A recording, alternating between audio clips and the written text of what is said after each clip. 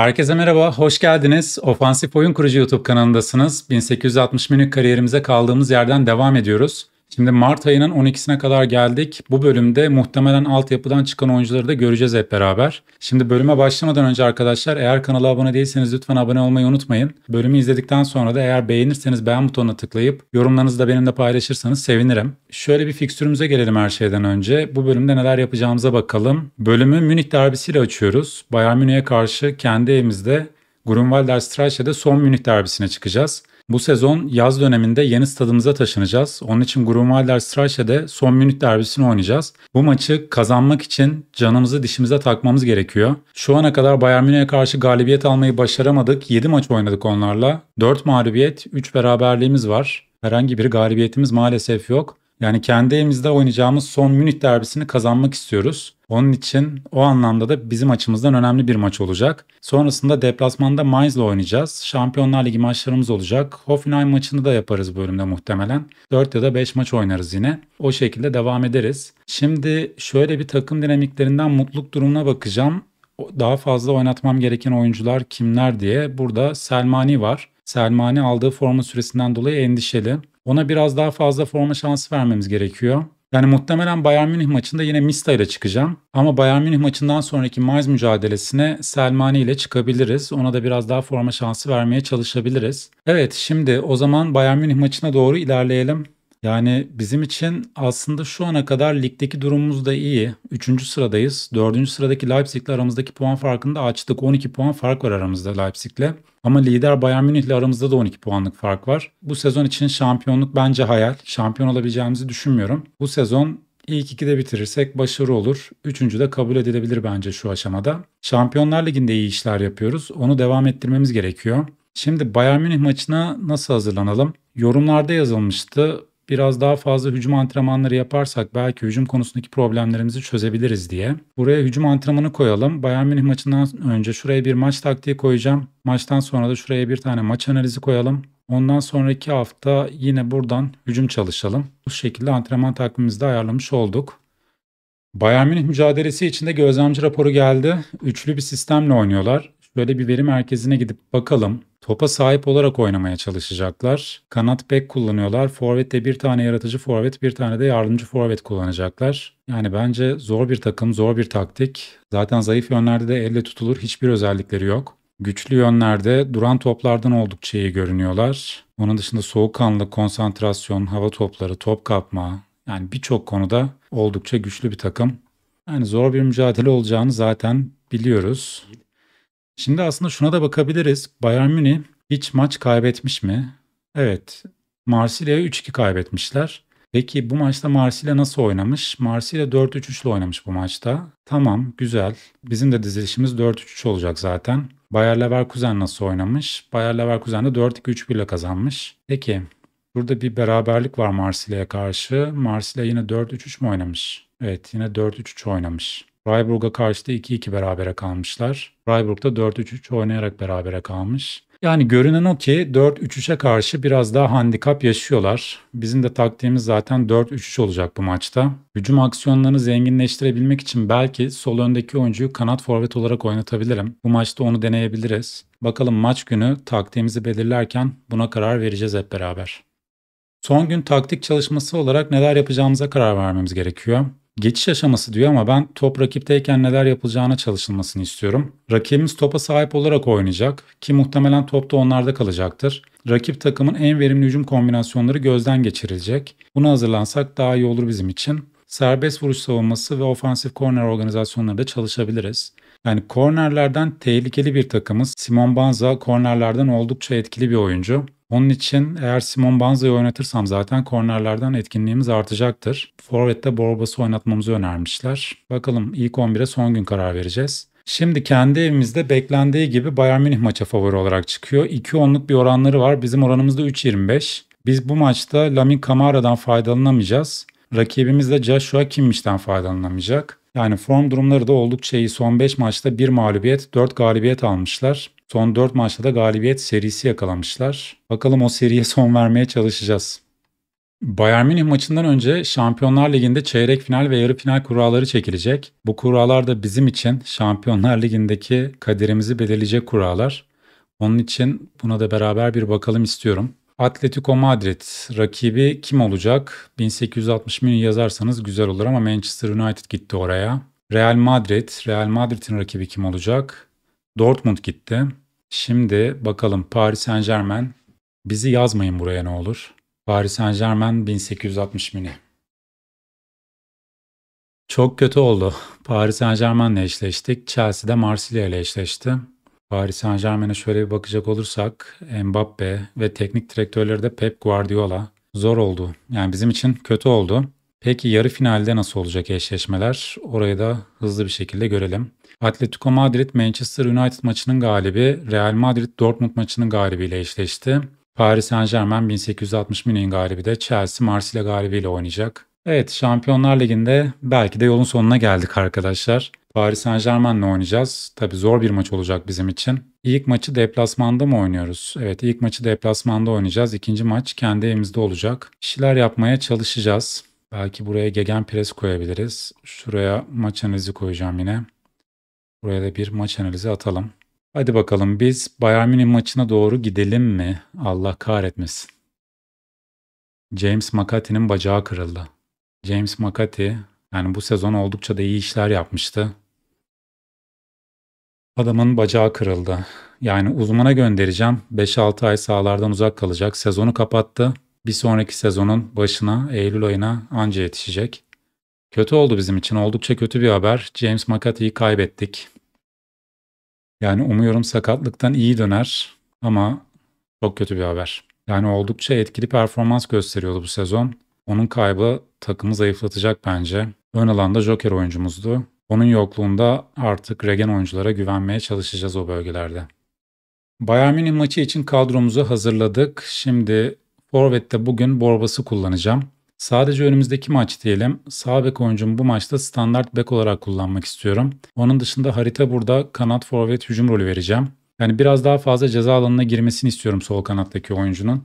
Ceza alanında çoğalalım istiyorum ki rakibe biraz sıkıntı yaratabilelim. Şimdi savunma hattını bir tık öne çıkaralım. Topa dal talimatını açacağım. Rakibin orta yapmasına da izin vermek istemiyorum. Onun dışında başka bir şey yapalım mı? Karşı presi açalım. Rakip topa sahip olmaya çalışacak. Biz de onlara biraz daha fazla pres yapalım. Onun dışında Matistel'e de sert oynayalım ve onu da zayıf ayağına yönlendirelim. Başka bir şey yapabilir miyiz? Alfonso Davis'e de belki biraz daha şiddetli pres yapabiliriz. Evet kadroyu hazırladık. Lamin Camara'yı da bu maçta kullanmam. Hafif bir sakatlığı var. Onun yerine de Fofana'yı alalım yedekler arasına. Bu şekilde maça çıkacağız. Hadi bakalım. Takımı bildirelim. Maça doğru ilerleyelim. Kendi evimizde Grunwalder Strasse'de son Münih derbisi. Başlama vuruşu yapıldı. Başlar başlamaz da oyunculara ben başarabilirsiniz çocuklar dedim. Ve maça başladık. Hadi bakalım. Maçın başında top bizde kalıyor. Topla daha fazla oynayan taraf biziz. Sürpriz bir şekilde. Maç momentumda da rakibimizden daha iyi durumdaydık. Evet hala maç momentum bizde. Böyle bir kez daha başarabilirsiniz çocuklar diyelim. İsabetli şutlarda sıkıntımız var ama korneri kullanacağız şimdi sağ taraftan. Haydi diyor. İyi orta gol getirir. Dio ortaladı. Ön direkte karşıladılar. Harit. Dio offside'dan kaçmaya çalıştı. Direkte patladı top. Borbas. Geriye Loko. Enguesan bir kez daha Loko. Aman Loko sakın hata yapma. Highlight'i kestiler. Şimdi Mista. Rakip önde pres yapacak ve highlight'i gösteriliyor, gösteriyorlar. Eğer o presi kırabilirsek tehlike yaratırız ama topu kaptırırsak bizim kalemizde tehlike olacak. Gendrey, Ostojic. Geriye Dio'ya. Dio bizde kalsın top. Esugo geriye Espen'e. Espen'in pası şimdi Loko. Enguesan tek top güzel. Bizde kalsın kalmadı Colombo. Aradan Matistel'i buldu. Matistel kaleci Mista izin vermedi. Savunma arkasına bir top attılar. Tehlikede yarattılar. Şimdi Alfonso Davis korneri kullanıyor. Orta geldi. Kafa vuruşu da geldi. Top dışarı gidiyor. Evet rakibimiz de kalemizde görünmeye başladı. Oyunculara bir kez daha başarabilirsiniz diyelim. Orta geldi. Mamardaşvili hata yapmadı. Mamardaşvili Kim Min-jae ile oynadı. Kim Min-jae. Önde pres yapıyoruz. Kim Min-jae. Borbas kazandı topu. Verdi Dio'ya. Dio. Dio şut açısı aradı. Buldu. Mamardaşvili'de kaldı top. Çok iyi bir şuttu aslında ama Mamardaşvili iyi yer tuttu. Pozitif futbola dönelim ya. Top da bizde kalıyor çünkü. Pozitif futbola dönelim ama bir gözümüz de maçın gidişatında olsun. Şimdi Loko. Haydi Loko. Pası verdi geçmedi Van Yoman'dan. Geriye Mamardaşvili. Alfonso Davis. Ostojic kazandı. Aferin oğlum. Ostojic. Pas Dio. Enguesan. Ah be. Direkt dibinden dışarı gitti top. İyi oynuyoruz. iyi oynuyoruz. Haydi çocuklar. Başarabilirsiniz. Yani ilk yarıda bence rakibe göre çok daha iyi bir oyun ortaya koyduk. İsabetli şut konusunda biraz problem yaşıyoruz ama şu ana kadar gösterilen performanstan memnunum. Oyuncularla da bu şekilde konuştum. Şimdi ikinci yarıya gidelim bakalım. Oyuncu değişikliği yapmadım. Rakipte 3 tane oyuncu değişikliği var. İkinci yarının başında yine baş, başarabilirsiniz çocuklar dedim. Evet ikinci yarıda da momentum bizde şu ana kadar. 60. dakikaya geldik. Şimdi oyuncu değişikliği yapacağız. Mikafa'ya yorgun ama oyunda kalacak. O biraz daha dursun. Borbas'ı çıkaracağım. Onun yerine Banza'yı oyuna alacağım. Harit çok iyi değil. Harit'in yerine de ben Boris Agar'ı kullanacağım sol tarafta bu maçta. Dio çok iyi değil ama Dio'yu oyunda tutalım bence. Ne yapacağı belli olmaz çünkü Dio'nun. Espen de biraz aksıyor. Espen'in yerine de Rhys Burke'yi oyuna alacağım. Parmakla işaret edelim. Kalan sürede bu maç döner. Hadi bunu başarın çocuklar dedim. Oyuncuları motive edip sahaya gönderdik. Bir de şuradan başarabilirsiniz çocuklar diyelim. Yani bu maçın hakkı galibiyet bence. Rakipten çok daha iyi oynuyoruz. Dio, Dio Mamardaşvili kornere çeldi. Haydi Dio. Banza oyuna girdi. İyi bir orta Banza'ya doğru. Banza arka direkte top bekliyor. Arka direğe doğru geldi ama Mamardaşvili çıktı ve aldı topu. Bir kez daha başarabilirsiniz çocuklar dedim. Artık maçta 80. dakikaya doğru geliyoruz. Bir highlight daha gösteriliyor. Amenda onun pası Turam. Turam geriye doğru Kim Minje. Musiala. Merkeze kötü bir pas. Burke kazandı. Burke hücuma çıktı. Burke ver artık topu. Gendre'yi buldu şimdi. Gendrey. Gendrey merkezde Essugo.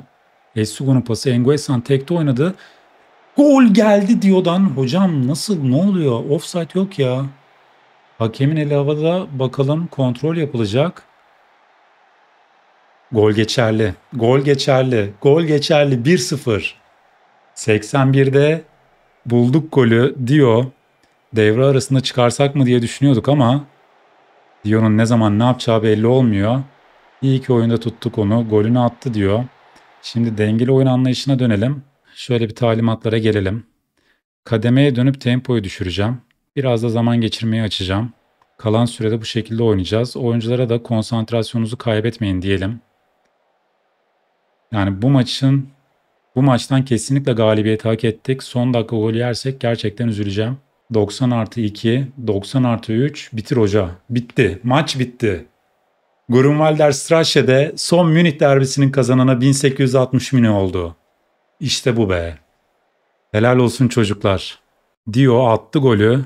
Bize galibiyeti getirdi. Beyler harikaydınız. Hepinizi alınlarınızdan öpüyorum. Bizi küçük görenlere iyi bir ders verdiniz. Mükemmelsiniz. Bizim için mükemmel oldu. Kendi evimizde Bayern Münih'i bu sefer devirmeyi başardık. Münih derbisinin kazananı biz olduk. Dortmund da kendi evinde Gladbach'a 2-0'la geçti. Onlar da hata yapmadılar. 65 puana çıktılar. Biz 60 puana yükseldik. Bayern Münih ile aramızdaki puan farkı 9'a indi. Umuyorum bu bir başlangıç olur. Bayern Münih bundan sonraki maçlarını da kaybeder. Dortmund da kaybederse belki bir ihtimal şampiyonluk ümidimiz olur. Ama çok çok çok düşük bir ihtimal bu. Şöyle bir Dio'nun omzuna dokunalım. Çok iyi fırsatlar yarattın. Böyle devam et dedik Dio'ya. Şimdi oyuncularımıza dinlenme vermemiz gerekiyor. Şöyle bir kadroyu seçelim. Bir günlük mü, iki günlük dinlenme verelim bence. İki günlük dinlenme vereceğiz oyuncularımıza. Sonra Mainz maçına doğru ilerleyeceğiz. Evet, beklediğimiz haber geldi. Altyapıdan yetişen oyuncuları duyurdu altyapı sorumlumuz. Gerçekten iyi oyuncular çıkmış olabilir altyapıdan. Zaten iki tane elit seviyede genç yetenek var. Şimdi öncelikle şurada Nico Wittke'nin başını çektiği bu grup için altın jenerasyon deniyor diye belirtmiş altyapı sorumlumuz. Nico Wittke'nin profiline şöyle bir bakalım. Merkez orta sahada hücum olarak oynuyor. Yani vücut sindeliği 3, zıplama 5, güç özelliği 4. Yani fiziksel özellikleri gelişir, kişilik dengeli. Peki Medyaya karşı tutumu da açık sözlü. Yani ortalama bence bence çok çok mükemmel değil kişilik ve medyaya karşı tutumu. Ama profiline bakacak olursak profil ümit vaat ediyor. Karar alma hali hazırda 14. Onun dışında kararlılık 12. Özel yetenek yine 14. Pas konusunda iyi. Tekniği 15. Bitiricilik de şu anda 10. Yine merkez orta sahada hücum rolünde gerçekten etkili olabilecek bir oyuncu. Onun dışında elit seviyede diğer oyuncumuz Nao Bauer. O da standart stoper olarak oynayabilir. Yalnız kişilik azimsiz. Medyaya karşı tutumu soğukkanlı. Kişiliğin azimsiz olması kötü. Boy 1.76. Zıplama özelliği 8. Agresiflik cesaret iyi. Yani kişiliğin azimsiz olması bence kötü. Onun dışında profili oldukça iyi. Takım oyunu 17. Deneyebiliriz. Bu oyuncunun nereye gideceğini merak ediyorum. Ama kişiliği çok iyi olmadığı için çok ümit vaat etmiyor bence. Vitke ile direkt sözleşme imzalayalım. Bu şekilde bırakabilirim burayı. Şöyle bir konuşalım bakalım oyuncuyla. Minimum serbest kalma bedelini kaldıracağım. Yıllık maaş artışı verelim. Yıllık maaş artışı olur. Bunları da tutabiliriz. Tamam. Bence bu şekilde direkt önerebiliriz sözleşmeyi. Vitke ile anlaştık. Şimdi bir de Now Bayer'e bakalım. Onunla da konuşalım. Şimdi bu şekilde söz verdik. Yine bu şekilde kalabilir bence burası. Çok fazla bir para vermeyeceğiz. Üstün seviyedeki gençlere şöyle bir bakmamız gerekiyor. Jovanovski profesyonel sayılır. Potansiyeli çok yok. Davidovic, bu da azimsiz. Geç. Suat Güney, azimli sayılır. 3,5 yıldız potansiyeli var. 1.79 boyunda. Suat Güney ile de anlaşabiliriz. Yani potansiyeli çok fazla yok gibi görünse de sonradan oyuncuların potansiyelleri değişebiliyor. Ki kişiliği iyi olduğu için bir de medyaya karşı tutumuna bakacak olursak o da sağduyulu. Gizli özellikleri bence oldukça iyi Suat Güney'in. Kararlılık yüksek zaten. Yine top kapması oldukça iyi. Zıplama 12, boy 1.79 fena değil. Agresiflik 16, cesaret 15, kararlılıkta 17 bence iyi bir oyuncu olabilir. Yine burada yedek oyuncu statüsünü kaldıralım. Bu şekilde oyuncuyla anlaşabiliriz bence. Tamam, burayı hiç oynamayacağım. Onunla da anlaşma imzaladık. Onun dışındaki oyunculara bakmaya gerek yok bence. Onların potansiyel yetenekleri oldukça düşük. Evet, altyapıdan yetişen oyunculardan 3 tane oyuncuyu kadromuza katacağız. Bu şekilde devam edeceğiz. Yani gelen aslında bu potansiyelli oyuncuların kişilikleri biraz daha iyi olsaydı bence çok iyi bir jenerasyon yakalamış olurduk. Aslında sezon sonunda altyapı sorunumuzu da değiştirmeyi düşünebiliriz bence. Çünkü altyapı sorunumuz çok çok iyi oyuncular bulamıyor. Yani şöyle bakacak olursak altyapı sorumlusunun özellikleri bence iyi. Kişilik profesyonel, gençlerle çalışma 18, oyuncu potansiyeli değerlendirme 17, oyuncu yeteneği değerlendirmede 14. Onun dışında medyaya karşı tutumu psikolojik üstünlük kurmaya çalışır ve ağzı sıkı. Aslında bu özellikler oldukça iyi ama maalesef altyapıdan gelen oyuncuların kişilikleri şu ana kadar çok iyi çıkmadı. Ondan dolayı altyapı sorumlusunda belki değişikliğe gidebiliriz sezon sonunda. Yeni bir altyapı sorumlusuyla anlaşabiliriz. Bakalım onu sezon sonunda değerlendireceğiz. Evet, altyapıdan kadromuza katılan oyuncularla sözleşme imzaladık. Şimdi bu oyuncuların antrenmanlarını ayarlıyorum. Mihail Naubayer için bu şekilde bir antrenman sistemi belirledim. Standart stoper savunma olarak çalıştıracağım onu. Güç özelliğini yükseltmesini istiyorum. Şu anda güç 7, zıplamada 8. Bu iki özelliğe çalışmasını istedim. Antrenman yoğunluğunu da iki kat yoğunluğa çıkardım. Şimdilik zaten 19 yaş altı takımımızla antrenman yapacak. Onun için bu şekilde belirledim. Şimdi Suat Güney'e bakalım bir de. Suat Güney'i de yine standart stoper savunma olarak oynatmayı düşünüyorum. Bu bölgede markaj 12, pozisyon alma 12. Yani hız hızlanmayı biraz arttırabilir ama karar alma da kötü. Şimdilik defansif pozisyon almayla başlayalım. Markaj 12, pozisyon alma 12 ama karar alma 8. Karar almayı da biraz arttırsın. Ondan sonra bu oyuncu için karar vereceğiz. Arttırmak istediğimiz özelliklere göre antrenman sistemini tekrardan değiştireceğiz. Bir de Witke, belki de altyapıdan gelen en iyi oyuncu. Onu merkez orta sahada hücum olarak eğiteceğim. Şimdi ne çalıştırabiliriz bu oyuncuya? Yani fiziksel özelliklerde bir şey çalıştırmayalım şimdilik. Takım oyunu 9, topsuz alan 8. Topsuz alan özelliğini bence biraz arttırması gerekiyor. Hücum organizasyonları çalıştıralım. Topsuz alan 8, ön sezi 8, karar alma 14. Karar alma zaten iyi ama karar alma ne kadar yüksek olsa o kadar iyi olur bizim için. Şimdilik bu üç özelliği arttırsın. Onu da yine iki kat yoğunlukla çalıştıracağım. Bu şekilde bu oyuncuların antrenmanlarını da ayarladık. Yani muhtemelen önümüzdeki sezon Vitke'yi kadroya alacağım az takımla antrenmanlara çıkaracağım ve ona yapabilirsem daha fazla forma şansı vermeye çalışacağım. Hatta Vitke'yi mentörlük sistemine de alabiliriz. Yine aynı şekilde burada Naubayer'i de azimsizdi çünkü. Naubayer'i de mentörlük sistemini alıp kişiliğini değiştirmeye çalışabiliriz. Bu iki oyuncuyu bundan dolayı önümüzdeki sezon az kadroyla antrenmanlara çıkarabilirim. Verebildiğimiz kadar da fazla forma şansı vermeye çalışırız. Bu oyuncuları o şekilde geliştirmeye çalışacağız. Dediğim gibi biraz daha altyapıdan gelen oyuncuları kullanmak istiyorum. Bu kariyerde o kısmı çok iyi yapamadık. Ondan dolayı kariyerin kalan kısmında buraya eğilmek istiyorum. Altyapıdan oyuncu yetiştirip bu oyuncuları da kadroya entegre etmeye çalışacağız. Sıradaki maçımız Mainz mücadelesi içinde gözlemci raporu geldi. Şimdi yine bir oyun sistemlerine bakacağım her şeyden önce. Gegen pres yapacaklar. Ön alanda 3 tane oyuncuları var. Bir tanesi çalışkan forvet, diğeri ofansif oyun kurucu, diğeri de gizli forvet olarak oynuyor. Gizli forvet de genelde zaten savunmaya baskı yapıyor. Bir de çalışkan forvet var. İki tane oyuncu ön alanda baskı yapacak zaten. Gegen presi uygulayabilirler ondan dolayı. Bu arada Koray Ünal bu oyuncuyu şöyle bir gözlemleyelim bakalım. 19 yaşındaymış. Regen oyuncu. Onun dışında bek oyuncularını yine kanat bek olarak kullanacaklar. Bu oyuncular hücuma çıkıp kanatlarda genişlik vermeye çalışacak. Zayıf yönlerde neler diyor? Hava toplarında kötüler. Birebir de degajda yine kötüler. Vizyon konularında kötüler. Yenilen gollerde son 20 karşılaşmada rakiplerin yaptığı 24 asistin 10 tanesi ceza sahasının içinden kaydedilmiş. Rakip ceza sahasına paslaşarak da girebiliriz. Pozisyon alma özellikleri kötü. Ön alandaki oyuncularımızı topsuz alan özelliği yüksek olan oyunculardan seçeceğiz. Yine konsantrasyon, ön sezi özellikleri de kötü. Yani bence bizim için avantajlı olabileceğimiz bir maç. Tamam. Ön alanda topsuz alan özellikleri yüksek olan oyuncuları seçeceğiz. Gegen pres yapacaklar. Onun için belki savunmadan kısa pasla çıkmaya çalışmayabiliriz bu maçta. Savunmadan paslaşarak çıkmak yerine biraz daha dikine gidebiliriz. O şekilde bir taktiksel değişiklik yapabiliriz bu maçta. Rhys Burke sakatlandı ama 1-3 gün sakat. Tamam. Niko Wittke 19 yaş altı takımımızla çıktığı ilk maçında golünü attı. Juventus'un 20 yaş altı takımını 1-0 mağlup ettiğimiz maçta gol Wittke'den geldi. Gelir gelmez maçlara golle başladı Wittke. Güzel oldu bizim için. Wittke'nin gelişimi önemli. Şimdi Mainz maçına favori olarak çıkıyoruz. 2.50'lik bir oranımız var. Rakibimizin oranı da 2.62. Yani form durumlarına bakacak olursak rakibimiz son 5 maçta 2 mağlubiyet almış. 2 galibiyetleri bir de beraberlikleri var. Bizim form durumumuz oldukça iyi şu anda. Bu maçta Makati'den faydalanamayacağız ki Makati'den uzun bir süre faydalanamayacağız. Güç özelliği de düşüşe geçti. Umuyorum fiziksel olarak çok zayıflamaz Makati. Yaşı 25 bu sakatlıktan sonra toparlayabilir. Ama sezonu kapattı. Bakalım önümüzdeki sezona nasıl giriş yapacak? Onu beraber göreceğiz. Şimdi Mainz maçına gidiyoruz. Mainz maçında da rotasyon yapmamız gerekiyor. Çünkü sonraki maçımız Paris Saint Germain'le deplasmanda olacak. Dünyada geleceğin yıldızı olarak gösterilen 50 genç oyuncu arasında da Ostojic adını yazdırdı yine.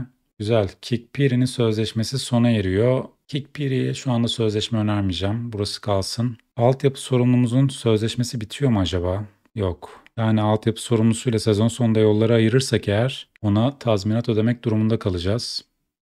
Mainz deplasmanı için kadromuzu hazırladık. Biraz rotasyon yapmaya çalıştık bu maçta. Def derin oyun kurucu rolünde Madi Kamara'yı kullanacağım. Kikpiri'yi stoperde kullanacağım. Espen yine oynayacak. Kalede Selmani oynayacak. Ön alanda sağ tarafta da Zagar oynayacak. Şimdi bu maçta rakip takımın analizine bakarken ön alanda topsuz alan özelliği yüksek olan oyuncularla oynamamız gerektiğini görmüştük. Birçok oyuncumun topsuz alan özelliği yüksek. Zaten Simon Banza'yı da bu maçta oynatmamın sebebi topsalın özelliğinin yüksek olması 16. Zagar'ın topsalın özelliği düşük 9 ama zaten regen oyuncu yani bütün özellikleri diğer oyunculara göre çok iyi durumda değil. Ama onu bu maçta kullanmak istiyorum. Kalede de Selmani olacak bu maçta. Şimdi sadece önümüzdeki maç diyelim. Bu maçta savunmadan kısa pasla çıkmayacağız. Pas şeklini biraz uzatacağız. Onun dışında geçiş oyununda top kaybedildiğinde karşı pres istemiyorum. Yine kalecimize özgürlük verelim. Top rakipteyken rakibe baskı yapmamıza gerek Şimdi savunma hattını öne çıkarmayalım ama yine rakibin orta yapmasına izin vermeyeceğim. Onun dışında şöyle bir rakip oyunculara gelip bakacak olursak Schlotterbeck soğukkanlılık 14, hız hızlanma 13-11. Bu oyuncuya sürekli pres yapmamızı söylemişler. 14-12. Bu 14-13. Aslında olabilir, kalabilir. Top salan 5-8 özel yetenek de yok. Tamam. Bu oyuncuya sürekli pres yapalım. Widmer, Widmer'e de sert oynayalım. Philip Max, ona da sert oynayalım. Philip Max'ın soğukkanlılık 12. Silvan Widmer. Bek oyuncularının da aslında hızlanmaları oldukça kötü. Bu oyunculardan bir tanesini seçip ona da şiddetli pres yapabiliriz. Soğukkanlılık 12.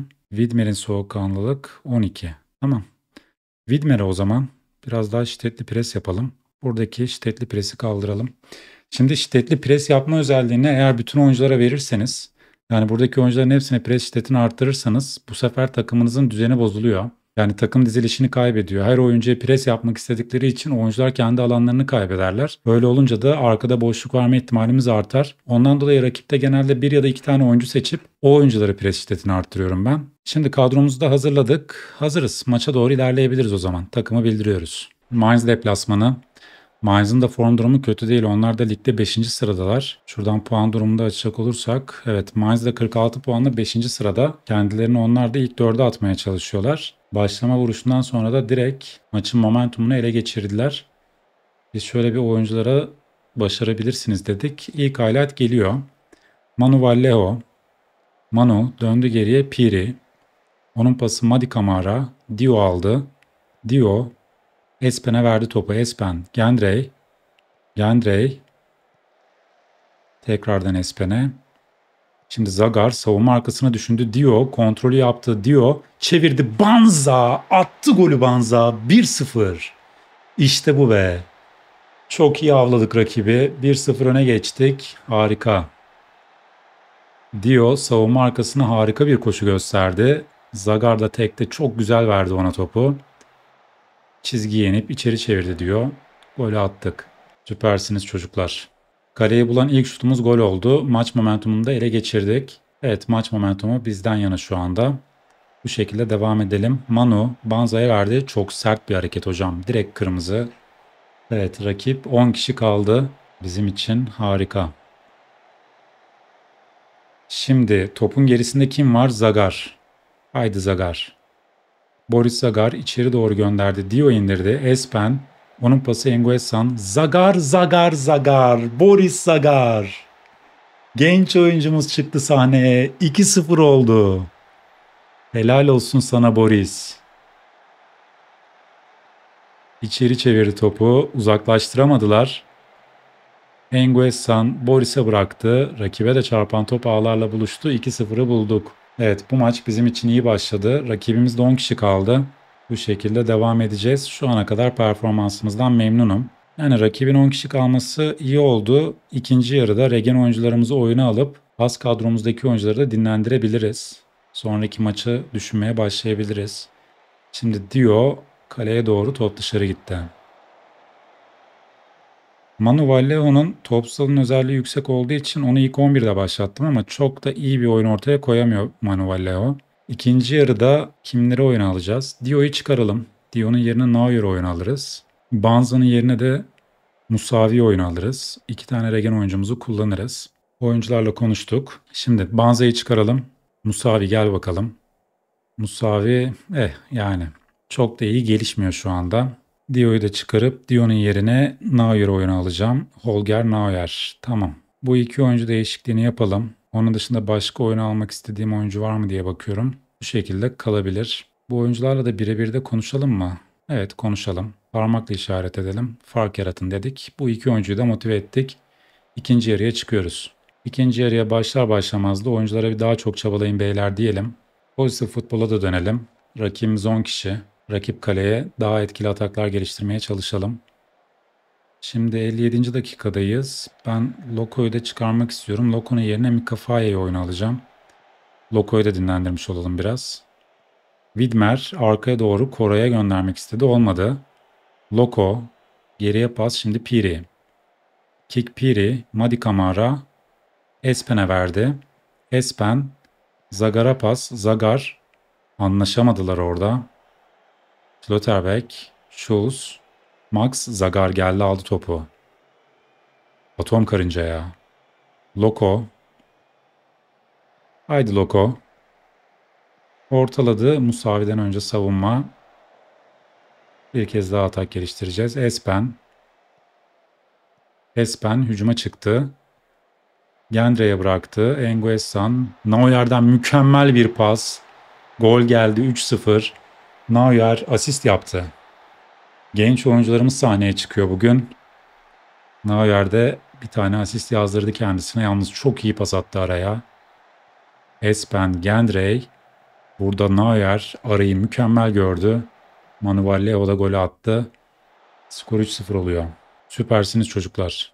Madi Kamara'yı çıkarabiliriz artık. Onun yerine Lamin Kamara'yı oyuna alacağım. Widmer. Oyuncuları bir şey demeyelim. Burkart. Burkart, Kamara topu kazandı. Geriye Selmani'ye. Selmani. Şimdi Espen. Neuer tek de Enguesan'a bıraktı. Manu Leo Musavi'ye doğru gelmedi top. Ama kazandık. Şimdi Musavi Manu Leo'yu buldu. Manu Musavi'ye doğru mu Zagar'a doğru uzaklaştırdılar topu Gendrey. Gendrey Gendrey aman Kamara kaleye gönderdi. Korner. Topun gerisinde Manu Vallejo var. Ortaya açtı. Savunma karşılıyor. Enguesan derken highlight kesildi. Şimdi Philip Max. Schulz. Schulz. Top hala kendisinde. En geriye döndü. Kaleci Arabrer'in kalecinin ismini okuyamadım. Schulz. Koray. Burkhardt attı mı golü? Attı golü. 3-1 oldu. 3-1 oldu skor. Farkı 2'ye düşürdüler. Arrua Berra. Neymiş ya bu kalecinin ismi? Arrou Barrena. Arrou Barrena. Daha çok çabalayın beyler. Kalemizde gol gördük. 10 kişi kalan rakibe karşı iyi değil bu. Manu Valleon'un ortası. Arka direk. Şimdi Neuer. Pas Gendre'ye. Onun pası Manu. Manu. Ne yapıyorsun Manu ya? Bu hareket bana tanıdık geldi Türkiye Ligi'nden. Kafa müdahale yapınca hemen kendini yere saldı. Bu arada Simon Banza'yı da artık Türkiye Ligi'nde izleyeceğiz arkadaşlar. Trabzonspor Simon Banza'yı transfer etti. Bakalım onun da performansını merak ediyorum. Nasıl bir performans ortaya koyacak Türkiye Ligi'nde. Merakla izleyeceğim. Bu arada golü attık. Hakem bayrağı kaldırdı bakalım. Offside var mı yok mu? Gol iptal edildi.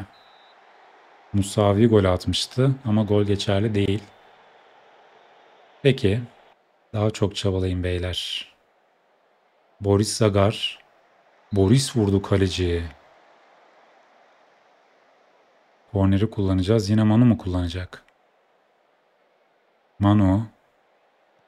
Ortaya gönderdi. Savunma Mika. Yok olmaz onlar. Evet maçta 90. dakikaya geldik. Uzatmalar oynanıyor. Artık bu maçın bitmesini bekliyoruz. 90 artı 4 ve maç bitiyor. Evet deplasmanda Mainz'a karşı 3-1 galip geldik. Güzel oyun, güzel galibiyet. Genç oyuncularımızın iyi işler yapması da ayrıca sevindirdi beni. Boris Zagar 7.4 ile oynadı. Nayer 7.2 ile oynadı. Musavi çok iyi bir oyun ortaya koyamadı. 6.6 ile oynadı. Musavi'den de çok bir ümidim yok açıkçası artık. Potansiyeli de zaten azaldı. Evet Dio iyi performansıyla bu maçında adamı olmayı başardı. Üzerimize düşeni yaptık. Rakibimizi geçmeyi başardık. Şimdi yalnız zor bir maça çıkacağız. Paris Saint Germain deplasmanına gideceğiz. O maç öncesinde oyuncularımıza biraz dinlenme verelim. Bir günlük dinlenme vereceğiz. Zaten maça kadar da çok zamanımız yok. Sadece bir gün dinlensin oyuncular. Ondan sonra Paris Saint Germain maçına hazırlanmaya başlayacağız. Bu arada birçok oyuncumuzla ilgilenen kulüpler var. Kikpiri'nin peşinde kim var şu anda? Union Berlin var. Onun dışında Dion'un peşinde Newcastle ve Al Ahly takımları var. Enguesa'nın peşinde Al var. Musavi'nin peşinde Gladbach, Köln ve Freiburg takımları var. Yani Musavi'yi satmayı da düşünebilirim aslında ama bakalım. Sonrasında bakacağız buna. Mika Faye'nin peşinde de Bayer Leverkusen var. Evet sezon sonunda transfer dönemi biraz hareketli geçebilir bizim için. Şimdi biz üzerimize düşeni yaptık. Maçımızı kazandık. Bayern Münih 84. dakikada attığı golle 1-0 galip geldi. Puan kaybı yaşamadılar. Bakalım Dortmund mücadelesi nasıl olacak? Dortmund kimle oynuyor? Onlar da Bayer Leverkusen deplasmanına gidecekler. Puan kaybı yaşayabilirler. Leverkusen deplasmanı zor geçebilir onlar için. Bakalım o maçın da sonucuna bakacağız. Paris Saint Germain için gözlemci raporu geldi. Yani kadro zaten mükemmel. Şöyle bir veri merkezine bakalım. Oyun sistemleri ne diyor? Tiki taka diyor. Kanat forvet, ters ayaklı kanat oyuncusu ve yaratıcı forvetle oynayacaklar. Metsalı ofansif oyun kurucu. Sigorta bek, iki tane sigorta bekle oynuyorlar ve bir tane de libero ile oynuyorlar. Hücuma çıkarken libero defansif orta saha pozisyonuna gelecek. Geride 3-2 5 gibi bir dizilişleri olacak. Yani dar alanda oynayacaklar bir de. Bizim için zor bir maç bence. Şimdi zayıf yönlerde ne demiş? Yenilen gollerde 11 asistin 5 tanesi kısa paslardan kaydedilmiş. 11 asistin 4 tanesi ceza sahasının dışından kaydedilmiş. Kafa vuruşu özellikleri kötüymüş. Duran toplarda etkili bir takım. Topsalın özellikleri iyi, cesaret özellikleri iyi. Yani savunmada bence bu maçta pozisyon alma özelliği yüksek olan oyuncularla çıkmamız gerekiyor. 4-3-3 kullanan rakiplere karşı da iyi performans ortaya koymuşlar. Şimdi dar alanda oynayacaklar. 4-3-3 mü oynasak, 4-2-3-1 mi oynasak diye düşünüyorum. Ya da yine belki 4-1-4-1 ile de çıkabiliriz bu maça. İlk maçı zaten deplasmanda oynayacağız. Bence 4-1-4-1 ile çıkarız ilk maça. Biraz daha rakibi karşılamaya çalışırız. Şimdi taktik çalışması olarak neler yapalım? Geçiş aşaması kalabilir. Serbest vuruş savunması ve korner savunması mı yapalım? Ofansif korner organizasyonları yapalım. Simon Banza'yı bu maçta kullanacağız muhtemelen. Onun için ofansif korner organizasyonlarına çalışalım. Şimdi Dortmund Leverkusen deplasmanında hadi bakalım bu maçın sonucu nasıl olacak? Leverkusen 1-0 yendi. Dortmund puan kaybı yaşadı. Dortmund'la aramızdaki puan farkı 2'ye indi böylece. Biz Dortmund'la oynayacak mıyız? Evet sezonun son maçını Dortmund'la oynayacağız. Kendi evimizde oynayacağız. O maçta Dortmund'dan intikam almaya çalışacağız. Çünkü sezonun ilk yarısında deplasmanda 5-0 mağlup olmuştuk. Bakalım o maçın da intikamı olacak bizim için. Eğer puan farkı bu şekilde devam ederse o maçta da ikincilik mücadelesi olacak. Güzel bir maç olacaktır. Yine antrenman sistemlerini ayarlayalım mı? Şuraya genç oyuncuların antrenman sistemlerini koyalım ama dayanıklık değil bu hafta sürat ve çabukluk çalışsınlar. Evet, maç öncesi anketler bize hiç şans vermemiş. Neredeyse hiç şans vermemiş. %61 Paris Saint-Germain galibiyeti, %21 beraberlik, %18'de 1860 Münih galibiyeti demişler. Makati'den faydalanamıyoruz bu maçta. Kikpiri de kaydedilmediği için bu maçta forma giyemeyecek. Rakipte Donnarumma oynayamayacak. Onun dışında da iki tane oyuncuyu kaydetmemişler. Ondan dolayı bu oyuncular da oynamayacak. Peki rakipte Donnarumma oynayacaksa kalede kim olacak? Urbik. Urbik de kötü bir kaleci değil. Hatta çok çok iyi bir kaleci. Evet, şimdi biz o maça doğru ilerleyelim bakalım. Evet, Paris Saint-Germain mücadelesi için kadromuzu hazırladık. Şimdi sadece önümüzdeki maç diyelim. Bu maçta kanat oyuncularımızı geriye çekelim. Kanat oyuncularımız biraz daha savunmaya yakın oynasınlar. Şimdi soru, acaba Esugo'yu derin oyun kurucu olarak mı oynatsak yoksa gizli libero olarak mı oynatsak? Rakip de dar alanda oynayacak. Sanki gizli libero olarak oynatmak daha iyi olabilir bizim için. Bu aralardaki boşlukları falan kapatmaya çalışabilir. Sol tarafta standart bek kullanacağım. Evet, dizilişimiz oyuncu rolleri bu şekilde olacak. Şimdi şöyle bir gelelim bakalım. Defanstan kısa pasla çıkmaya çalışalım mı? Burayı böyle bırakabiliriz. Belki erken ortaları kullanmaya çalışabiliriz bu maçta. Kontraya kalkmaya çalışacağız. Top rakipteyken ne yapacağız? Rakibi bence kanatlardan oynamaya zorlayalım. Onlar çünkü dar alanda kalacaklar. Kanatlara yönlendirelim onları. Bir de topa dalarak oynamaya çalışalım. Deplasmanda oynuyoruz. Bu maça temkinli oyun anlayışıyla çıkacağız. Hadi bakalım. Gitmeden şöyle bir rakiplere rakibe de bakalım neler yapacağız. Şimdi Dembele'ye sıkı markaj yapmamızı söylemişler ama yani çok hızlı bir oyuncu. Sıkı markaj yaparsak savunma arkasında sıkıntı yaşayabiliriz. Savunma hattımızda standart tutuyoruz. Bence ona sıkı markaj vermeyelim. Ama sert oynayalım. Hatta bence biraz da pres şiddetini arttırabiliriz ona. Kolo Muani'ye sıkı markaj verebiliriz. Tamam bu şekilde kalsın bakalım. Takım seçimini gerçekleştirdik. Takıma bildiriyoruz. Paris Saint Germain deplasmanına gidiyoruz. Şampiyonlar Ligi'nde rakibimiz Paris Saint Germain dünya devi. Ama artık biz de dünya devi olmaya adayız. Başarabilirsiniz çocuklar diyelim maçın başında. Yani yine rakibi durdurmaya çalışacağız. İlk anlayışımız o olacak. İlk hedefimiz rakibin oyununu durdurmak. Sonrasında duran toptan ya da bulduğumuz kontra atak imkanlarından bir gol atabilirsek mükemmel olur zaten bizim için. Ama rakip bireysel yetenekleri de olan oyunculardan kurulu bir takım.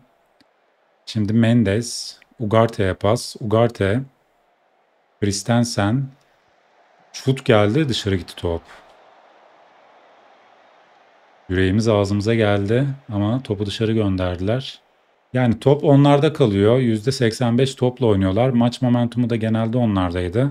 Şimdi maç momentumunu almaya çalışıyoruz rakipten. Ama çok da başarılı değiliz. Dio sarı kart gördü. Ona müdahalelerde sertliği azaltmasını söyleyelim. Oyunculara bir kez daha başarabilirsiniz çocuklar diyelim. Burke Mika Faye'ye verdi. Çıkarken hata yaptık. Top Ugarte'de kaldı. Ugarte Hernandez'e pas. Hernandez bir kez daha Ugarte'ye. Şimdi Mbappe'yi topla buluşturdular. Xavi. Pas Ugarte'ye. Christensen şut çekecek. Dışarı. Uzaktan şutlarla kaleyi yokluyorlar. Yani isabetli şut gönderemediler. O bir noktada iyi. Ama tabii tehlikeli ataklar yaratıyorlar. Şimdi Urbik. Christensen'e verdi. Christensen, Vitinha, Dembele, Dembele'ye pres. Evet, kazanamadık ama topu. Hakimi, tekrar Hernandez, Mendes, Mbappe araya dikkat. Mbappe kendi götürdü. Mbappe ne yapıyorsun oğlum Vitinha? Kaleci Mista çevirdi topu. Vitinha Mika uzaklaştırdı. Valla Mbappe golü atıyordu tek başına. Oyunculara bir kez daha başarabilirsiniz çocuklar diyeceğiz. Yani rakip de aslında çok gol beklentisi yaratamadı. 0.75'teler. Top genelde onlarda. 6 şut çektiler bir tanesi isabetli. Ama henüz gol atamadılar.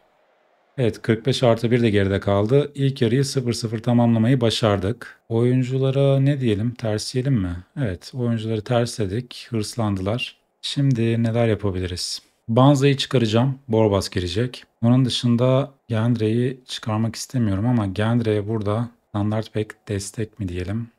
Evet standart pek destek diyelim. Bu şekilde ikinci yarıya gidelim bakalım. Şimdi Mbappe sol tarafta kanat forvet olarak oynuyor değil mi? Vazgeçtim o zaman. Gendre'yi sigorta bek olarak oynatacağım. İkinci yarıda sigorta bek olarak oynayıp Mbappe'nin etkinliğini azaltmaya çalışsın. Sigorta bek savunma. Bir kez daha başarabilirsiniz çocuklar diyelim. 60. dakikaya geldik. Şimdi Hakimi kullandı serbest vuruşu. Dembele. Onun pası Hakimi. Ugarte araya dikkat. Burke'de kaldı. Mika. Kontraya çıkabilecek miyiz acaba? Çıkamadık. Top kaybı yaşadık. Bu şimdi çok büyük tehlike işte bizim için. Vitinha direkten dışarı gitti top. Yani kontraya kalk talimatını da kaldırırsam rakip iyice üzerimize yüklenecek. Ama işte kontraya çıkarken problem yaşıyoruz. Savunmadan kısa pas açık talimatını kapatacağım. Pas şeklini standarda çevirip tempoyu tamamen arttıracağım. Topu da stoperlere vermesin kalecimiz. Belki bu sayede kontra tehlikelerimiz artabilir. Şimdi 62. dakikaya geldik. Oyuncu değişikliği yapmamız lazım. Yorulan oyuncular da var. Enguesan yerine Madi Kamara'yı oyuna alıyorum. Gendre'yi çıkaralım. Sadik Fofana. Yanıltır mı acaba bize? Hadi bakalım bir şans daha veriyorum Sadik Fofana'ya. İnşallah pişman olmam bundan. Dio 6.6 ile oynuyor. Dio birazcık daha kalacak oyunda. Bir süre daha kalsın. Yani şapkadan tavşan çıkarabilecek bir oyuncu. Bir süre daha sahada tutalım onu. Tekrar başarabilirsiniz çocuklar diyeceğiz. Ugarte döndü geriye Christensen. Onun pası Hakimi. En geriye şimdi Urbik. Mendes. Christensen. Haydi Ostojic ne yapıyorsun Ostojic? Mendes. Boşluk arıyorlar. Ugarte. Vitinha. Mbappe o boşluğu bulacaklar gibi. Mendes. Geriye Mbappe araya oynadı. Burke ne yaptın? Nasıl sekti o? Aman aman. Aman çocuklar aman. 70. dakikaya kadar ilerledik. Zor bir maç oluyor bizim için. Yani rakip de çok etkili ataklar geliştiremedi bence. Rakibin oyununu da tutmayı başardık. 10 tane şut çektiler. Sadece 3 tanesi isabetli. Artık Dio'yu çıkarmam gerekiyor. Çok yoruldu çünkü. Dio'nun yerine Nayer mi Lamin Kamara mı? Nayer motive olmuş ya.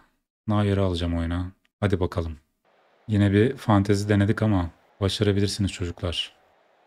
Şimdi 87. dakika Mista kaleci vuruşuyla oyunu başlattı. Ugarte Neuer, Borbas. Neuer koş. Götüremiyoruz ki topu. Urbik. Hernandez. Merino. Bunun pası Mendes. Mbappe'yi buldu. Mbappe. Hernandez yine aldı topu. Geriye şimdi Ugarte. Ugarte savunma arkasına doğru. Rafinha. Top bizde kalsın ne olur. Yapmayın, yapmayın. Rafinha. Vitinha arkaya doğru Mbappe. Oy direkte. Offside. Verilmiş sadakamız varmış. Mista şimdi kullanıyor. İleri doğru gönderdi. Borbas indiremedi. Ugarte. Christensen. Vitinha. Vandenberg. Rafinha'ya verdi. Rafinha. Geriye Vandenberg. Aferin çocuklar. Aferin. Ugarte. Şimdi Loko ile kazandık. Loko çıkar işte. Harit, Madi. Hızlı çıkar. Yok artık ya. 3 pas yapamıyoruz ki. Kontraya çıkabilir miyiz acaba diye düşünüyordum ama çıkaramadık topu oradan. Urbik. Haydi Ostoyic gir araya. Ver pası şimdi. Borbas bitir. Gol be. Gol. İşte bu be. 1-0. Borbas attı 1-0 oldu. Ostoyic'in pası. Borbas golü attı.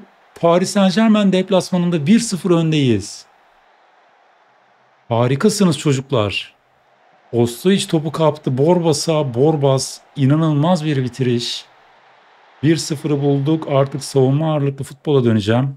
Kademeye dönelim. Tempoyu da düşürelim. Kontraya da kalkmayalım. Arkadaşlar Allah'ını seven savunmaya gelsin. Konsantrasyonunuzu kaybetmeyin çocuklar. 5 dakika uzatma verildi. Hadi bakalım bir highlight daha gösteriliyor. Bizim highlight'ımız olsun. Loko taç atışını kullanacak. Duran toptan atar mıyız bir tane? Loko. Madi, Loko ortayı gönderdi. Ostoyic. Ostoyic 2-0. Ostoyic 2-0. İşte bu be. 2-0 oldu. Harikasınız çocuklar. Ostoyic maça damgasını vurdu. Arka direkte bekliyordu topu. Rakip oyuncunun üzerinden yükseldi kafa vuruşunu yaptı 2-0. Yalnız şimdi highlight gösteriliyor. Süpersiniz çocuklar. Savunma, savunma. Savunmaya dikkat. Rafinha, Vitinha, onun pası Christensen, Ugarte. Aferin Harit, aferin oğlum. Devam ettir, koş. Rafinha, Vandenberg, Vitinha, kapının topu. Kayiki. Hernandez. Yok, yok. Rafinha'ya doğru. Aman. Kapa topu be. Vitinha yapmayın. Aferin Mista. Aferin oğlum. Aferin sana. Son pozisyonda golü atamadılar. 2-0 kazandık deplasmanda. Mükemmel bir galibiyet. Helal olsun çocuklar. Helal olsun size. Osta maça damgasını vurdu. Beyler harikaydınız. Hepinizi alınlarınızdan öpüyorum. Bizi küçük görenlere iyi bir ders verdiniz. Mükemmelsiniz çocuklar. Mükemmel bir oyun. Chelsea kendi evinde Marsilya'yı 1-0'la geçti. Biz de deplasmanda Paris Saint Germain'i 2-0 yendik. Şimdi Marsilya eğer Chelsea'yi eleyebilirse, biz de Paris Saint Germain'i eleyebilirsek yarı final mücadelemiz o kadar da zor olmayacak. Şimdi Guardiola'ya basın mensupları sergilediğiniz kötü performans ve aldığınız mağlubiyeti nasıl yorumluyorsunuz diye sormuşlar. Bu soruya cevap vermek için hazırlıklı değilim demiş. Guardiola'ya da diz, diz çöktürdük. Aferin Ostoyic, aferin oğlum. Mükemmel bir galibiyet. Şimdi 5 günümüz var sonrasında Offenheim mücadelesine gideceğiz. Oyunculara dinlenme verelim. 2 günlük dinlenme vereceğim oyunculara. Bence bunu hak ettiler. Sonrasında Offenheim maçına doğru ilerleyeceğiz. Hoffenheim maçı içinde gözlemci raporu geldi. Şöyle bir rakibimizin oyun sistemine bakalım her şeyden önce. Uzun top. Peki forvette yardımcı forvet, kanat forvet, iki tane kanat forvet, bir tane yardımcı forvetle oynayacaklar. Değer 1.85 boyunda fiziksel olarak da etkili bir oyuncu. Forvet arkasında da can uzunu oynatacaklar. Sahte bek ve sigorta bek. Tamam. Duran toplardan gol fırsatı yakalamakta iyiler. Savunmadayken yakın direğe atılan duran toplarda başarılılar. Duran toplarda başarılı bir takım. Hem hücumda hem de savunmada başarılı olmuşlar. Yenilen gollerde 27 asistin 13 tanesi ara paslarından kaydedilmiş diyor. 27 asistin 10 tanesi de ceza sahasının dışından kaydedilmiş. Cesaret, dayanıklılık özellikleri kötü, markaj özellikleri yine kötü, çalışkanlık da kötü, orta yapma özellikleri de pek yüksek sayılmaz diyor. Şimdi bu maçta taktik çalışması olarak bence geçiş aşaması yapalım. Onun dışında duran toplarda belki ikisinde savunmaya dönük duran toplar çalışabiliriz. Rakip duran toplardan etkili bir takım çünkü.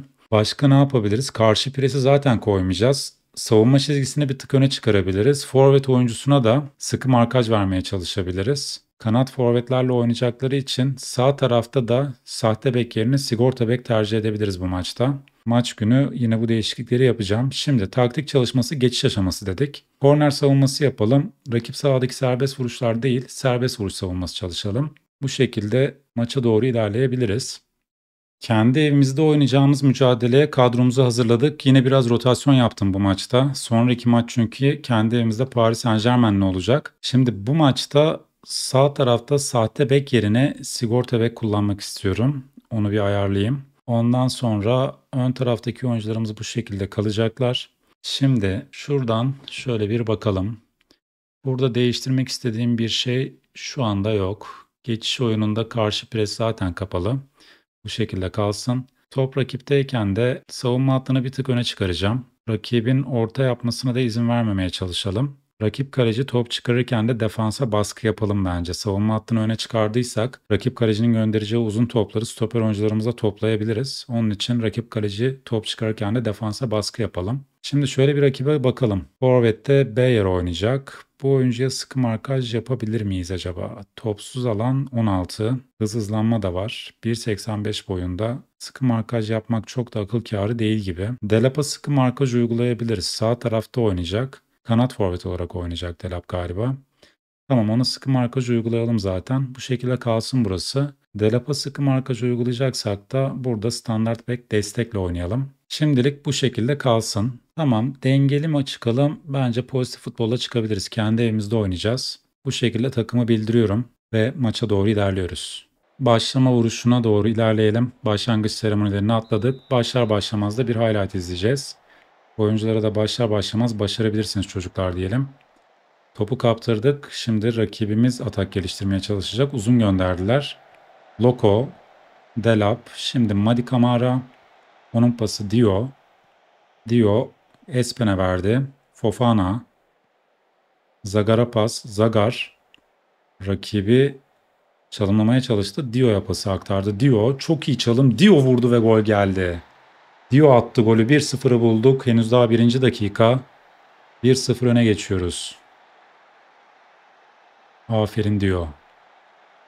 Yine Boris Zagar sağ taraftan etkili bir oyun. Dio'yu buluşturdu ve golü attık. Şimdi taç atışını kullanıyorlar. Savunma bir kez daha John'da kaldı top. Çizgiye doğru gitti, ortaladı ve gol oldu. Hakemin eli havada. Golü iptal edecek galiba.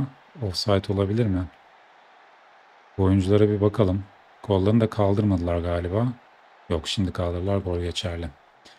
Evet hemen cevap verdi rakibimiz Hoffenheim. Duran toptan, taç organizasyonundan golü buldular. Başarabilirsiniz çocuklar diyeceğim. Şimdi Çe Delap'a verdi. Loko bir sakatlık yaşadı. Umarım oyuna devam edebilir Loko. Can Uzun Can Uzun top hala kendisinde. Kenan Yıldız'a pas. Kenan Can Uzun'a bir kez daha. Can içeri doğru çevirdi. Delap vurdu. Savunmadan döndü top. Can Uzun'la Kenan Yıldız da oldukça güzel bir oyun ortaya koyuyorlar. Şimdi bir dakika. Kenan Yıldız friki kullanacak ama Loko disk girişinde gerilme yaşıyormuş. Oyuna devam edebilir gibi ama Loko'yu çıkaracağım ben. Bu diz sakatlıkları problem çünkü. Hadi bakalım Mika. Kenan Selmani müdahale etti. Kornere gidiyor top. Mika Faye oyuna girdi. Daha çok çabalayın beyler. Ne oldu ya öyle? Korneri kullananlar highlight kesildi. Yani biz etkili ataklar geliştiremiyoruz. Rakibe göre daha fazla toplu oynuyoruz ama çok etkili ataklar olmadı ama golü bulduk. Hakemin eli havada. Hocam sanki gol ya. Oyuncuların elleri kalktı galiba. Gol geçerli bence. Evet oyuncular seviniyorlar. Gol geçerli. 2-1 öne geçtik. Duran toptan korner organizasyonundan Banza arkaya sektirdi. Mika da golü attı. Duran top golüyle öne geçmeyi başardık. Caceres savunma arkasına doğru Beyer, Mika, Espen. Şimdi Banza'ya gelecek top Banza gelişi güzel bir şekilde ileri gönderdi. Hoffenheim'da da Türk oyuncu sayısı oldukça fazla. 3 tane ilk 11'de Türk oyuncuları var. Kenan çevirdi. Delap attı 2-2. Hemen cevap verdiler. Delap değil Beyer atmış golü. 2-2 oldu. Berbatsınız çocuklar. Hemen cevap veriyorlar. Yine öyle oldu. 28'de gol attık, 30'da gol gördük kalemizde. Evet, ilk yarı 2-2'lik beraberlikle sonuçlanacak gibi ki öyle oldu. Soyunma odasına girelim. Oyuncularla bir konuşalım. Oyuncuları tersledik. Şimdi sol tarafta Valleo'yu çıkaracağım. Musavi'yi oyuna alacağım. Engues sana da çıkaralım. Onun yerine de Lamin Kamara'yı oyuna alalım. Şimdilik Dio dursun bakalım. 60'tan sonra ama Dio'yu da oyundan çıkarmayı düşünüyorum. Onu da dinlendirmem lazım çünkü. Lig sıralamasında durum nasıl? Puan durumuna bakacak olursak 64 puandayız. Yani Dortmund puan kaybı yaşamadı. Onlar maçlarını kazanmışlar. Biz berabere kalırsak puan farkı yine açılacak. Şimdi John ki berabere kalırsak yani mağlup olma ihtimalimiz de var. Rakip çünkü iyi oynuyor. Beyer, Römel, John dışarı gitti top. Şöyle bir şey yapmayı düşünüyorum. Rakibi kanatlardan oynamaya zorlayacağım. Rakibin orta yapmasına izin verme talimatını kaldıralım. Savunma hattını standarda çekeceğim yine. Karşı presi açacağım. Biraz pas şeklini uzatıp biraz da yaratıcılık verelim oyunculara. Bu şekilde devam edelim. Bir de oyunculara başarabilirsiniz beyler diyelim. 70'e doğru geliyoruz artık. Dio'yu da oyundan çıkarmam gerekiyor. Yani skoru alamadık maalesef ama Dio'yu çıkaracağım. Daha fazla oyunda tutmak istemiyorum onu. Zagar'ı da çıkarıp Ostoyic'i alacağım. Hadi bakalım. Haydi Ostoyic kurtar bize. Hücum ağırlıklı futbola dönüyoruz. Risk alıyoruz. Oyunculara da daha çok çabalayın diyelim. 80. dakikaya kadar geldik. Rakip 4-2-3-1 dizilişinde kalmaya devam ediyor ama gizli liberoya döndüler orta sahadaki oyunculardan bir tanesine. Boşlukları kapatmaya çalışıyorlar savunmada. Espen Mika'ya bıraktı. Mika döndü geriye Selmani'ye. Tekrar Espen. Ostoyic topu aldı. Merkezde Kamara'yı buldu. Kamara Musavi'ye doğru ama Musavi'nin topla alakası yok. Arkadaşlarıyla da alakası yok. Sağda geziniyor Musavi. Kikpiri, Mika, Delap şimdi kazandı topu. Ozan Kabak'a geldi top. Savunma arkasına doğru gönderme düşüncesi. Fofana hata yapmadı. Neuer kaptırdı. Delap. Çok top kaybı yaşadık. Sıkıntı olacak gibi ama. Çe. Araya mükemmel bir pas ve gol geldi. Of of. 3-2 geriye düştük.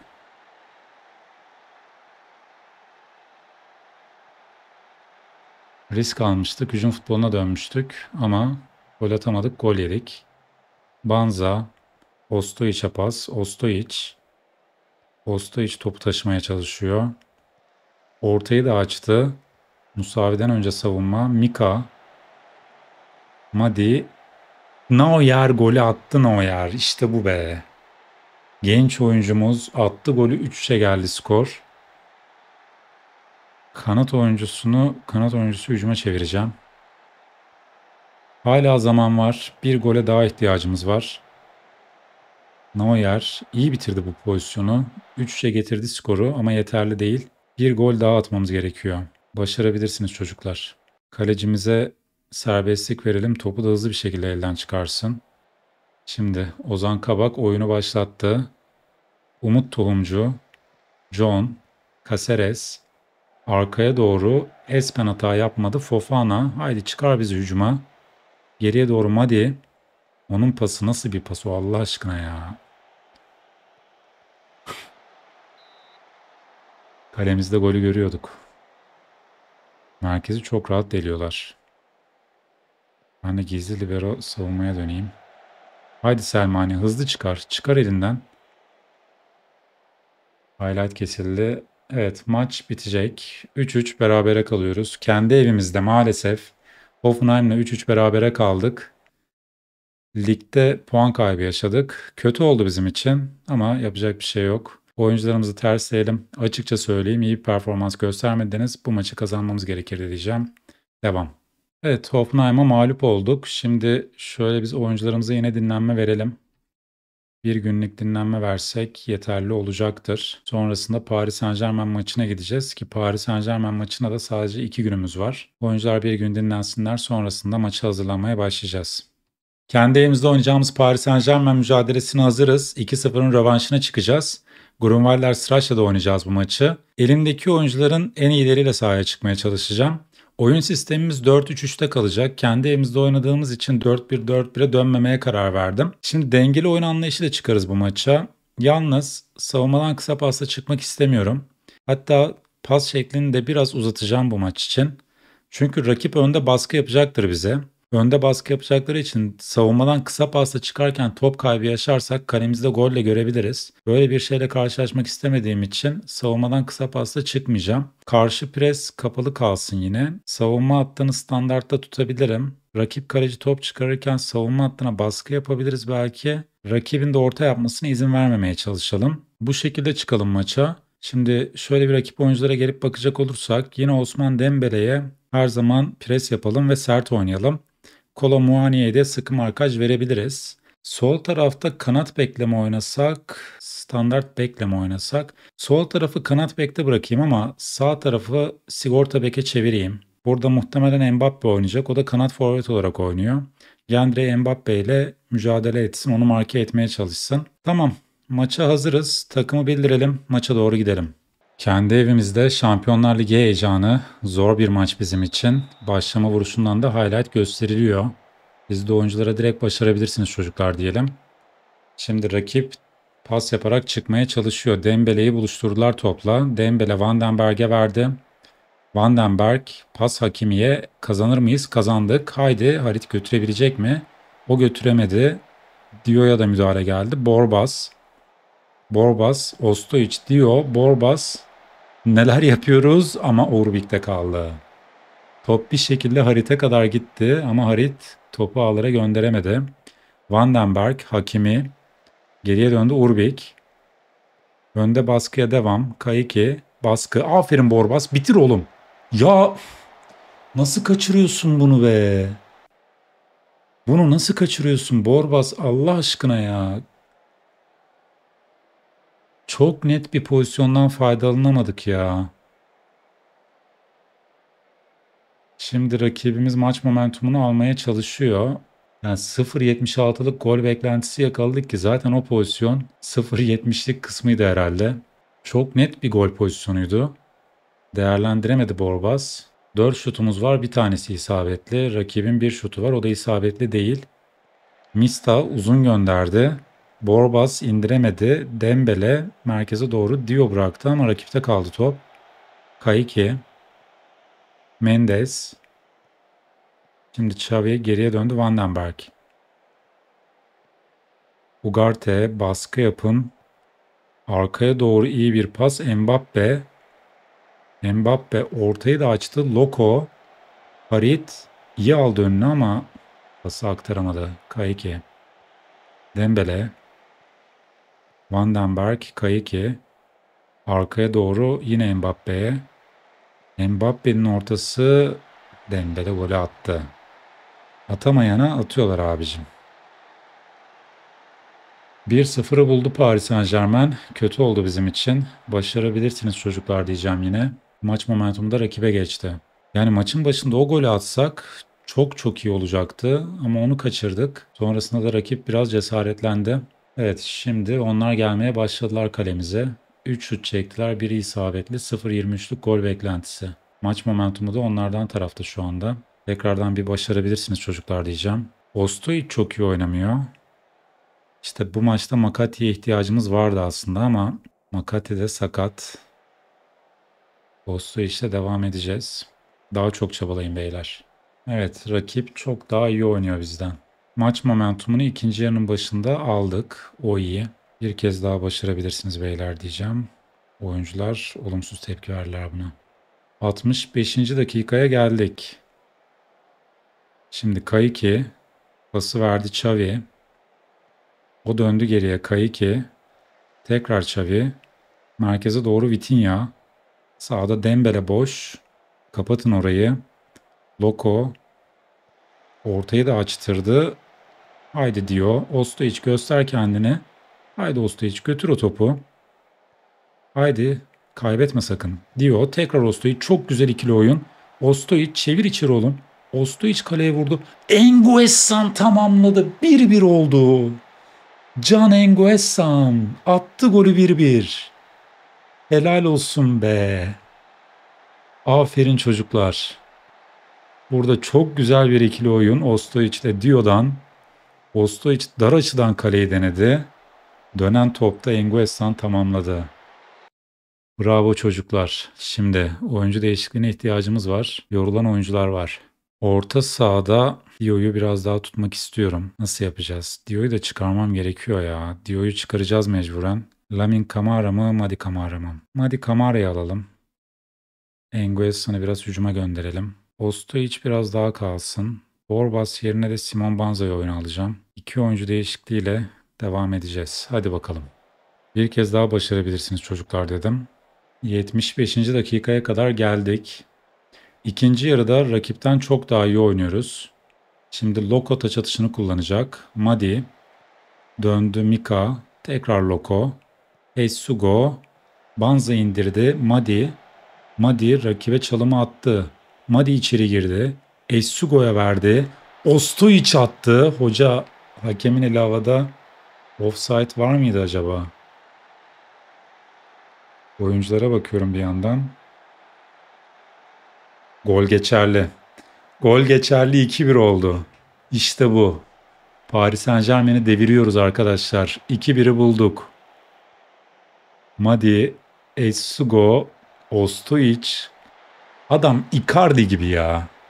Icardi'nin bir attığı gol vardı geçen sezon. Ziyech'in şutuna kafayı böyle sokmuştu.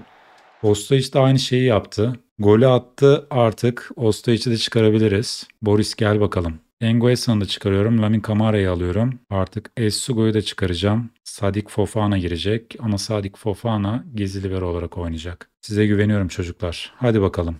Artık süreyi eritelim. Bu maçı bu şekilde tamamlayalım. Bir de korner kullanacağız şimdi. Harit topun gerisinde. Bir tane de korner golü gelir mi? Niye gelmesin? Simon Banza varsa niye gelmesin? 3-1 oldu. Paris Saint Germain'e sahayı dar ediyoruz. Süpersiniz çocuklar. Süpersiniz. Harit'in ortası Simon Banza. Attı golü. Şimdi artık bence tempoyu azaltalım, zaman geçirmeyi açalım, kademeye dönüp tempoyu da düşürelim. Dağılımımızı da koruyalım. Artık maçı bitirmeye bakacağız. 87. dakikadayız. En geriye döndüler Urbik. Onun pası Kayike. Kayike, Vandenberg'e. Nelson. Tekrar Kayike'ye pas.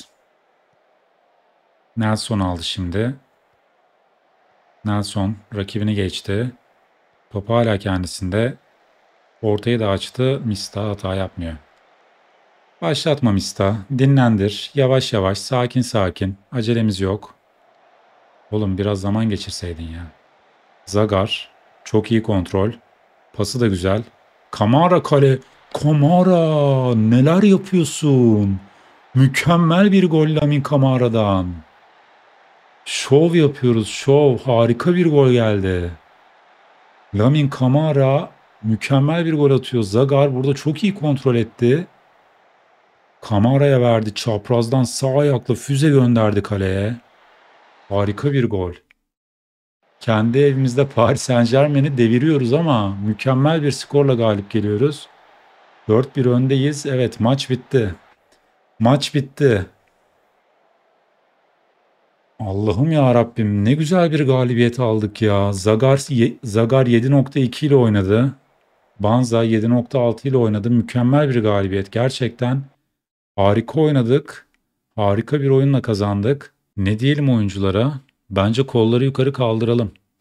İlk maçta galibiyetten sonra işi burada bitirmiş olduk. Gösterdiğiniz performanstan çok memnunum çocuklar. Helal olsun hepinize. Evet biz Paris Saint Germain'i toplam skorda 6-1 ile geçmeye başardık. Şaka gibi gerçekten bunu beklemiyordum. Ben Şampiyonlar Ligi'nde yolun sonuna geldik diye düşünüyordum. Ama ilk maçtaki taktik anlayışımız bence bizi buraya getirdi. İlk maçta deplasmanda eğer mağlup olsaydık içeride çeviremezdik maçı. İlk maçı 2-0 kazanınca ikinci maçta daha akıllı oynadık, daha rahat oynadık. Ve 1-0 geriye düşmüş olmamıza rağmen 4-1 kazanıyoruz maçı. Marsilya elendi. Chelsea'de Marsilya'yı deplasmanda 2-1 ile geçti. Toplam skorda 3-1 ile Chelsea'de tur atlayan taraf oldu. Yarı finalde rakibimiz Chelsea oldu. Esugo iyi performansıyla maçın yıldızı oldu. Şimdi Guardiola ne demiş? Oyuncularımın gösterdiği performanstan memnun değilim. Hüseyin Yiğit'in ve oyuncularının kazandığı başarı ne kadar büyük olursa olsun bugün sahadan galip ayrılan taraf olabilirdik. Ancak hayal kırıklığına uğrattı beni öğrencilerim. Evet, Guardiola'yı alt etmeyi başardık. Yarı finalde rakibimiz Chelsea. Mika Faye'yi dinlendirmemiz gerekiyor. Şöyle bir bakalım önümüzdeki maçlara. 3 maç boyunca Mika Faye'yi dinlendireceğim. Wolfsburg'la maçlarımız olacak. O maçları sonraki bölümde yaparız artık. Bu bölümü bence burada yavaş yavaş kapatabiliriz. Şöyle bir fikstürümüze gelelim. Bu bölümde neler yaptığımıza bakalım. Bence çok güzel bir bölüm oldu bizim için. Bir tane nazarlığımız var yine. Hoffenheim'da kendi evimizde 3-3 berabere kaldık. 5 maç oynadık ki gerçekten zor maçlar oynadık. 4 galibiyet, 1 beraberlik aldık. Galibiyetlerimizin arasında ilk Münih derbimiz var. İlk kez Münih derbisini kazanmayı başardık. Onun dışında Paris Saint Germain'i yendik ki bence mükemmel bir başarı. Bu bölümden ben gerçekten keyif aldım. Güzel bir bölüm oldu bence. Şöyle bir kapatmadan önce takım dinamiklerine de gidelim. Mutluluk durumuna bir bakacağım. Selmani'ye daha fazla forma şansı vermemiz gerekiyor. Simon Banza'ya yine daha fazla forma şansı vermemiz gerekiyor. Kikpiri de muhtemelen sözleşme isteyecek. Onun dışında bir problemimiz yok. Kadroya gelelim. Şimdi oyuncularımıza unutmadan dinlenmeyi de verelim. Böyle bir iki günlük dinlenmeyi hak etti oyuncularımız. Son maçta mükemmel bir gol atan Lamin Kamara'nın profilinde bu bölümü kapatıyoruz arkadaşlar. İzlediğiniz için çok teşekkür ediyorum. Ben keyif aldım. Benim eğlendiğim bir bölüm oldu. Umarım siz de keyif almışsınızdır. Eğer kanala abone değilseniz abone olmayı unutmayın lütfen. Bölümü beğendiyseniz beğen butonuna da tıklarsanız sevinirim. Yorumlarda beni de yalnız bırakmazsanız mutlu olurum arkadaşlar. Bir sonraki bölümde görüşmek üzere. Kendinize iyi bakın. Futbolla kalın.